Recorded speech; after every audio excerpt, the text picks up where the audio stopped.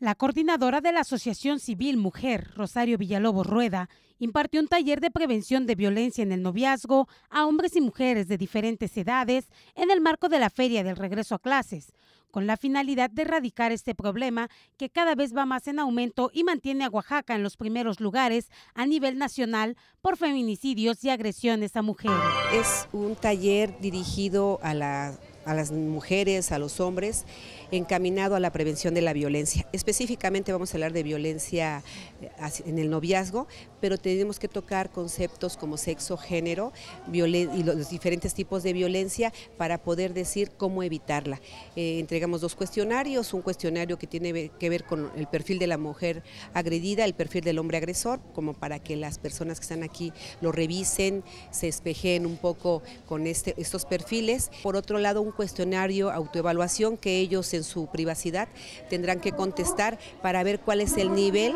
el nivel de su, de su violencia, ya sea ejerciéndola o recibiéndola. En el taller dijo que es importante como preámbulo iniciar con una plática en donde se aborden temas cotidianos y naturales como la sexualidad y conocer nuestro cuerpo, temas que causan en algunas ocasiones incomodidad y pena entre los presentes, porque dijo, no estamos acostumbrados a llamar las cosas por su nombre. Si Oaxaca en materia económica y política se encuentra por los suelos, pues la violencia es, eh, es, evidente. Estamos siempre, Oaxaca ocupa los primeros lugares a nivel nacional en cuanto a feminicidios, en cuanto a muerte materna, en cuanto a, violaciones, en cuanto a, este, embarazos adolescentes, por ejemplo que las mamás, que los papás, que las muchachas y muchachos estén informados de que existe la violencia, que no la vean como normal y que este, acudan a, terapia, que acudan a denunciar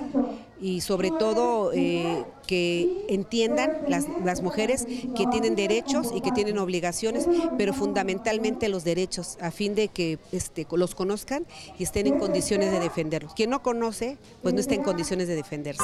Lamento que cuestiones como la economía y la educación causen el origen de la violencia de género, la cual es necesario identificar y que padres de familia pongan más atención para evitar que sus hijos sean presa de este tipo de problemáticas. Concluyó que es necesario crear la cultura de la denuncia, de lo contrario, nunca habrá castigo y no se podrá erradicar. Con imágenes de Pablo Cruz informó para MBM Televisión Alexi Espinosa.